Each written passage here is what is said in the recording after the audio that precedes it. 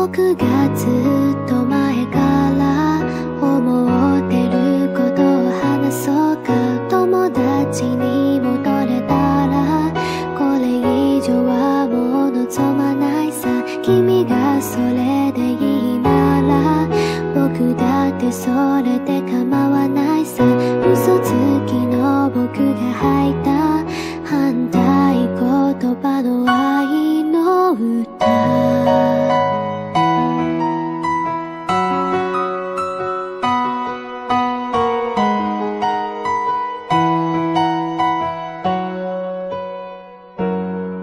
今日はこっちの地方は土砂降りの晴天でした。昨日もずっと暇で一日満喫してました。別に君のことなんで考えてなんかいないさ。